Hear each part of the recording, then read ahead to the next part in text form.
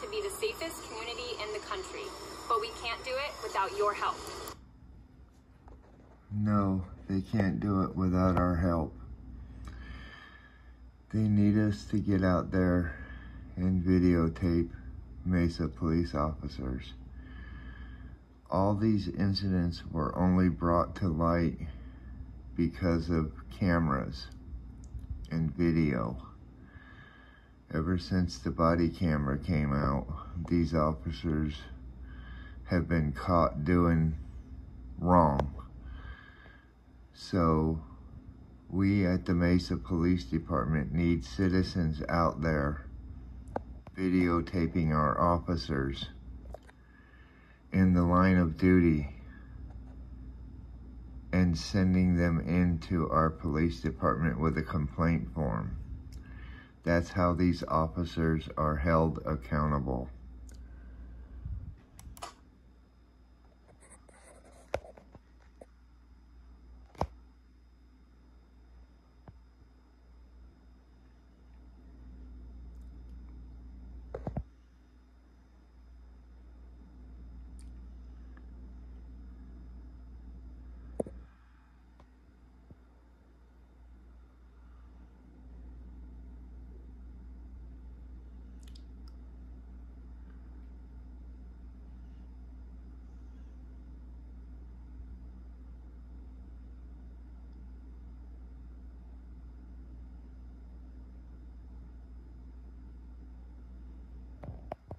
Two Mesa police officers tackling, punching, tasering. The people on the other side of these blows accused of minor infractions like jaywalking and cutting through a park after hours. Their police body cameras captured the chaotic encounters, resulting in three excessive force complaints in just over two years, all in a city This officer, I put the caption up top there. The officer in the gray hair has been on Mesa Police Department for many years. He has never climbed in rank because of his his attitude in the police department. He's only been he's had many complaints put on him but none of them has ever been proven until these videotapes have been shown. That's why he's never climbed in rank. Um, been there for many years and has never climbed in rank because he likes beating people's ass. That's Al Officer Calderon. Uh, we've had many dealings with him myself and Direct D and other cop watchers. Already plagued with concerns about police violence. This stop. this is Mesa SWAT officer Aaron Pugh in March 2018. He's one of three officers holding down Cole Spencer face down in the dirt. Pugh rams his knee into Cole's head twice, then slams his face into the ground twice. But it's about to get a lot worse.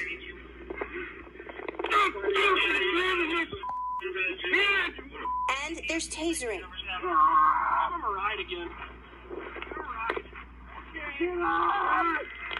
Cole stunned seven times for a total of 36 seconds. It's still not over. Officer Pugh grabs Cole's neck with both hands and squeezes, hoping Cole would go unconscious so we could control him, he said in his police report. And Officer Aaron Pugh was accused of excessive force again this July. He shot beanbag rounds at Lorenzo Jones while serving a warrant, even though Jones had his hands up and his small children nearby. There was no need for this. Under the law, he was complying. He had his shirt off, no weapons on him. He wasn't a threat. Police found Pugh's use of force was justified against Jones. The ABC 15 investigators Did you hear that bullshit? Showing Pugh received seven citizen complaints total over eight years. Five alleging excessive, unnecessary, or improper use of force. One for alleged bias policing and discourtesy, and one for failing to follow policy for the beanbag shooting of a dog. Mesa police found Pugh violated policy in the dog case, but he was exonerated or otherwise cleared in the other six complaints. Surveillance video shows 33 year old Robert Johnson leaning against a wall using his phone. There's Police say Officer they asked him to sit down. When he didn't immediately comply, four Mesa police officers repeatedly punch and knee him before Johnson falls to the ground. Johnson's head was then smashed against the elevator. He was eventually handcuffed to his feet, face covered. Crawl towards me. The Department of Justice launched a civil rights violation investigation after this video surfaced showing a Mesa police officer fatally shooting Daniel Shaver in January 2016. Shaver was unarmed. The officer, Philip Brailsford, was later acquitted of murder and removed from the police force. Yeah, Steve, union officials are actually fighting to help Officer Brailsford get his job back. He was fired from Mesa PD today, and now union officials are saying that the city is just trying to protect themselves. You're. Blurry body camera video picks up one crackdown that's now under the microscope. Why you why are you running? Don't try to destroy that. Now, when they release video to the public, Mesa PD always scrambles it or makes it to where you can't see it to, to protect the public. Right. Hands, give me your hands. Several intense seconds go by. This jaywalker not giving up. Police say he was trying to destroy evidence, the weed. Officers pleading for cooperation. Blows to the head and face caught on body camera. Other witnesses see the struggle and hit record. More officers arrive to find stunned witnesses. Were you involved or no? Did you see what happened? What happened? Like five times. Mesa police officer Nathan Chisler is accused of a crime, aggravated assault, for shooting an unarmed man in the hip last December. Key evidence body worn camera video from multiple officers. Months after ABC 15's initial public records request, Mesa police finally released the video with every second intentionally blurred by the department, so you can't see anyone's face or all They the details. You're intentionally about blur to see it. some photos and make no mistake, they are full of injuries. Now, this incident happened after police were called to a woman's home to check on her grandson. The question, though, that remains tonight: How did she get those injuries? I've talked to police out out in front of my house for 30 years, and there was never anybody that ever behaved like this. Mesa police were called to Virginia's home to check on her grandson. Virginia says it was a simple welfare check. Police say the call was for a suicidal person with a gun. When officers arrived, that person they went to check on did cooperate. But while police sorted it out, Virginia went out front, and that's when she says her conversation with an officer ended with her injury. Grabbed my my wrist real hard, and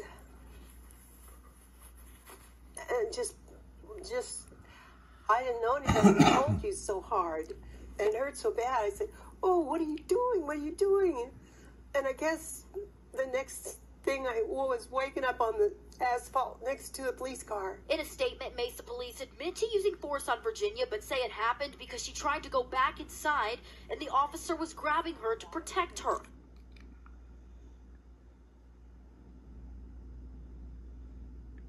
Police did find her grandson with a BB gun inside that home. Virginia, meantime, was ticketed for obstructing justice. Ticketed for obstructing justice. Now, they say that they found the kid with a BB gun inside the house. There's no video or or evidence of that. The police can say anything they want.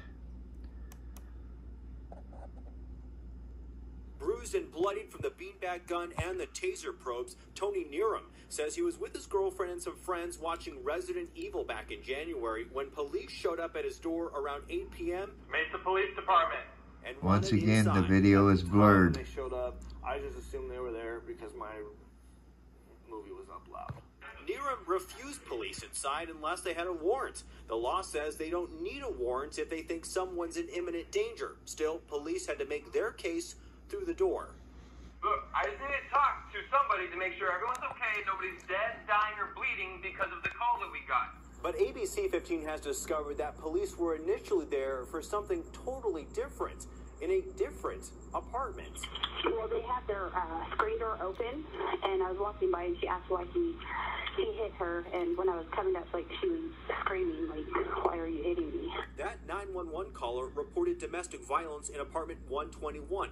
Scene photos, reports, and body camera video show police headed to apartment 122 next door. Being a former police officer, um, I was shocked. Attorney Anthony Ramirez represents Nerum. He plans to file a suit against police for how they handled the situation.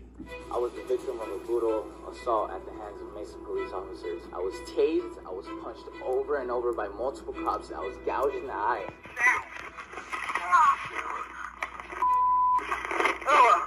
Let go of the pole! They laughed at me while I laid in a pool of my own blood. Aww. You gotta be a man, man. Man up. And I'm left to defend myself in court. And what happens to these guys? Nothing. Nothing. The ABC 15 Zach Crenshaw uncovering one Mesa police officer who's recently been disciplined twice within a year, both times for his use of force. This is the man. This is Officer Greg Clark. Dangerous After officer. Accused of trespassing surrenders. Does Mesa Police have a culture problem? No, we do not. But they may have a Greg Clark problem. This 2018 policy violation led to a 20 hour suspension. But as you'll see, that discipline didn't stop him from another reprimand. This officer is as bad as Officer Calderon. Um, we have many dangerous officers on Mesa PD Police Department that we need to get rid of. Command over his use of force just a year later. Since 2019, Officer Clark has been suspended 130 hours, roughly 16 workdays. The unpaid discipline stems from two incidents. The most recent involving this man, Mitchell Knudsen. In September 2019, when confronted for sleeping in a private parking lot, Mitchell decides to run. Also, real quick, um, he decides to run because of the way the officers are starting to handle him. And several other incidents, he's stopped for no reason and decides to take off because he knows that he's going to get his ass beat by these officers because it's the same officers that beat him before. The female officer catches him, cuffs him, and then Clark shows up. Just help me stand him up. In the video, blurred by Mesa PD, Blurred. Clark can be seen kicking the handcuffed man, then pulling him up by his hair. Oh, Remember that teen accused of trespassing? In March 2018, the young man runs from Clark and another bike officer. They eventually catch up to him, and he's clearly surrendering when Clark rams his knee into the teen's back, cuffs the kid, pulls him up, and seconds later, sweeps his leg, knocking him to the ground. Then Clark picks up his cell phone, tosses it at the wall, cracking the screen even more. A sergeant later wrote Clark demonstrated, quote, reckless, poor decision making. The now current chief, Ken Cost, put Clark on a seven step corrective action plan, which stated failure to immediately improve may result in disciplinary action, including termination. But just three months after that corrective action was complete, Clark did this. That's unacceptable. For Jeff Lahasset, it began last October. I we filmed pulled up, this There was two cops out front of my house. Lahasset's ex-wife called police on him for texting her.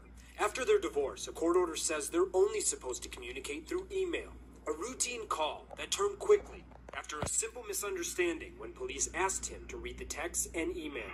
This is ridiculous, just like you. Well, That, no, that, no, no, that's it. No, no, no. He's reading the email. I'm sorry. He's about to get punched in the face. So, you just tell me you're gonna punch me in the face? Hey, you know what? Did you just tell me you're gonna I said you were about to. I'm gonna tase you if you walk towards my officer again. I didn't I'm walk not, towards hey, anybody. I'm not messing Call your around. Supervisor, you just threatened to punch me in the face. No, he did not. We wanted you to see the raw video unedited. Watch it once and it goes fast. Let's break it down and add subtitles. I ain't contacting her anymore. I understand the point. What the officer on the right doesn't understand is that Lahasset is about to read the first line of this email between him and his ex-wife. He's not talking to the officer. This is ridiculous, just like you. Well, That, no, that, no, no, that's it. No, no, no, he's reading the email. I'm sorry. I'm gonna. He's about to get punched in the face. So. You just tell me you're gonna punch me in the face. Hey, you Read know your what? email. Did you just tell me you're gonna I said you were about to. This is when they say Lahasset walked towards the officer. I'm gonna tase you if you walk towards my officer again. I didn't I'm walk not towards tased. anybody. I'm not messing Call your around. Supervisor, you just threatened to punch me in the face. No, I he did not. You know what? did say that. You know what? Put your coffee down. Have you have you been tased before? And they arrest You're him. about to get lit up. The officers then continued to deny that Officer Carroll threatened to punch Lahasset. No, he did not. I'm I'm standing here. I've witnessed it, sir. When I watched it, I was in shock. I absolutely couldn't believe um, the way this guy was treated. Jeff Exactly. And he would have gotten away, the officers would have gotten away with it if they didn't forget that their body cameras were on. Cameras mean 100% total difference. Lahasset's attorney Mark Victor says that this incident raises a lot of questions. For anybody who thinks that police body cams are not a good idea, take a look at this one. He points to the written police report filed in this incident. It doesn't say anything about a second officer being there, about the punch comment, or about a taser being pulled. The second officer also never wrote a report himself. If he didn't have that body camera, there'd be almost no way for you to prove that that happened. There would be none. Absolutely none. Walk up here, I will kill you. I'm not locking up there. I told you I'm a cop. Mesa police. Here, I'm a sergeant. Leave. Turn around. You leave, I will shoot you. Oh. Yeah, I will. Better show me your ID. The chief says the sergeant making the 911 call is a 19 year veteran of MPA. His name is Michael Duke. This all happened back in December, and moments after what you just heard, things got even more heated. According to the sergeant, the man hit him, and so that guy was arrested for assaulting an officer. But the chief says that's not true. The sergeant See? started the physical fight. Now the cop could The be facing sergeant criminal, started criminal it. charges. And back out here live, the police union says it is standing by the sergeant Most of the officers who shot Angel Benitez were not wearing body cameras, so we don't have a clear view of what happened, just the sound. Driver! With your left hand!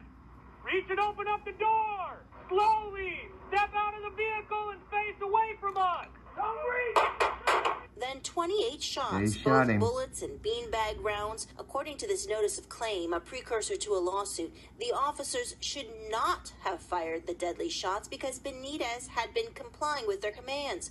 Witnesses say he had his hands up. Well, we've reached out to more than 150 departments in big cities nationwide. At least 69% of them told us that they have added training that teaches officers how to manage unconscious biases that we all have, including race. More than half of those departments say that they've added bias training since Ferguson, but when we asked if it works, most say they don't have a way to measure success. Some officers even told us that it's made their jobs tougher. That's it, guys. I have videotaped many of these incidents. Um, other cop watchers has done the same. It's very important to get out there and videotape these officers in the line of duty. Spitting Cobra. I'm out.